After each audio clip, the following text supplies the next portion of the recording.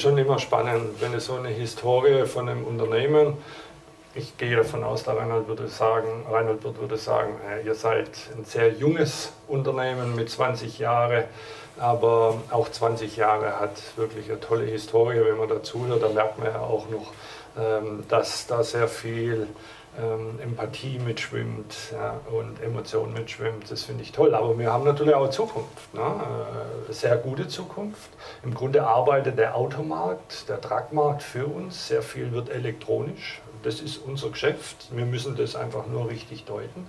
Und wir haben ja unsere Vision 25, 25. Und spannend ist ja, und das sind ja, ist ja die Entwicklung, dass die Wow ja nicht mehr Wow geblieben ist, sondern die Mutter quasi der Wow Group geworden ist und dazu ja die Autocom in Schweden gehört mit ihren vielen Entwicklern. Frankie, du bist Geschäftsführer, ich glaube über 120 Mitarbeiter.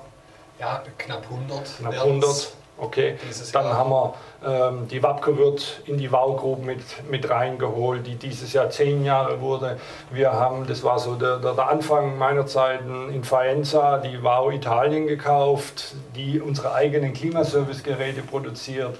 Wir haben das Fleuchhaus-Team gekauft, das unsere eigenen Reparaturdaten, Reparaturleitfäden äh, produziert.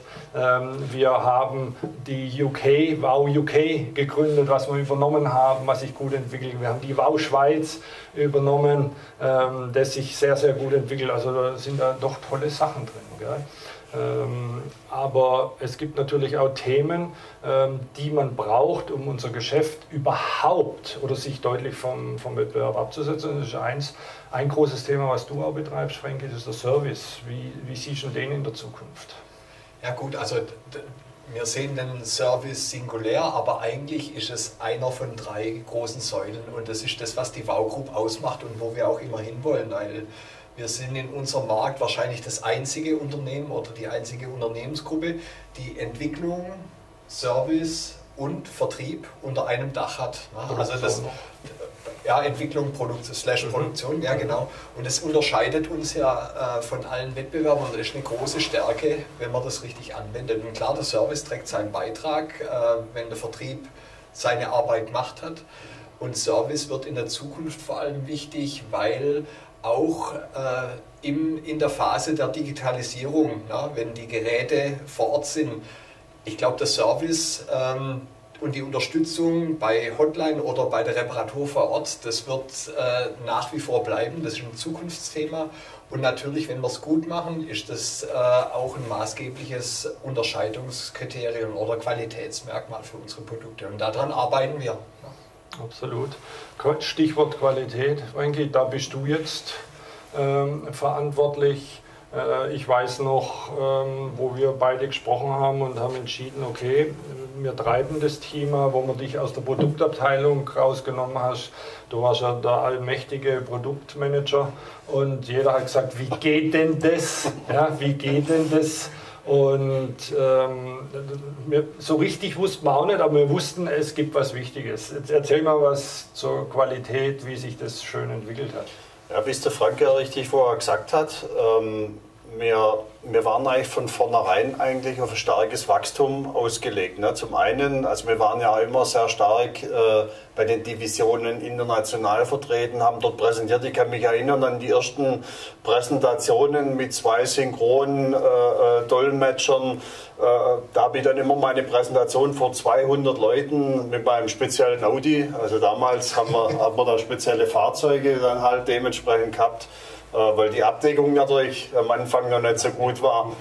Und, und ähm, dadurch sind wir natürlich zum einen im internationalen Vertrieb sehr schnell gewachsen, ist ja auch wird-like, ja, die Multiplikation. Und zum anderen haben wir natürlich das Produktportfolio ständig ausprobiert. Wir waren ja auch immer die, die ja, dieses, dieses Labor der, der, des, des, der Division Auto von Wirt, sage ich mal, ne, wo man gewisse Themen unterstützen zu den Wirtprodukten immer versucht hat, systemisch dort reinzugehen und, und das aufzubauen, um eben diese Wirtprodukte dauerhaft oder fester beim Kunden zu installieren. Ne. Und ähm, durch, diese, durch diese Thematik ähm, hat sich das natürlich jetzt auch angeboten, ähm, dass man dort äh, dieses Thema Qualität äh, äh weiter ausgebaut haben. Äh, wir haben ja vorher schon drüber gesprochen, man muss immer neues Land erobern und muss es dann natürlich dann sichern und muss es dann bewirtschaften, ne, was wir durch den Service und so weiter sehr gut machen.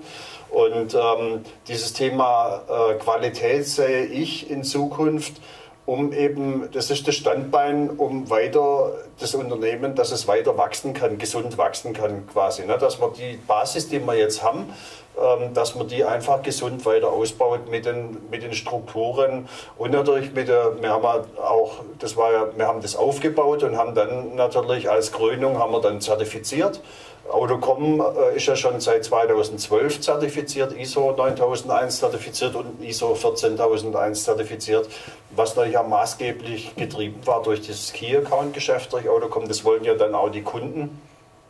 Bei uns war das äh, von meinem Gefühl her äh, eher dieses, diese Basis aufbauen, um weiter zu wachsen, dann dementsprechend. Im Moment äh, WAPCO wird, wow, haben wir zertifiziert, eine Matrix-Zertifizierung und jetzt äh, äh, als nächstes Projekt, großes Projekt, dass wir die, äh, dass wir die Wow Italy dort auch mit reinholt in diese Zertifizierung. Mhm.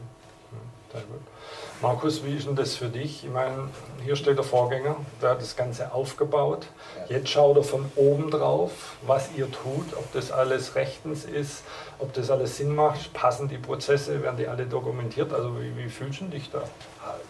Die Struktur, die der Frank gelegt hat und die er heute auch überwacht, ist natürlich essentiell. Anders wäre unser heutiges Arbeiten überhaupt nicht mehr denkbar. Mhm. Und seit wir uns in den Produktfeldern gegliedert haben, sind wir ja auch in eine, in eine Zukunft reingestartet, auf die wir uns einfach wahnsinnig freuen. Die Schlagworte lassen sich ja in jede Dimension ausdehnen, also verbundene Fahrzeuge, autonome Fahrzeuge, Elektromobilität. Äh, das lässt sich ja noch in viele, viele Bandbreiten äh, multiplizieren.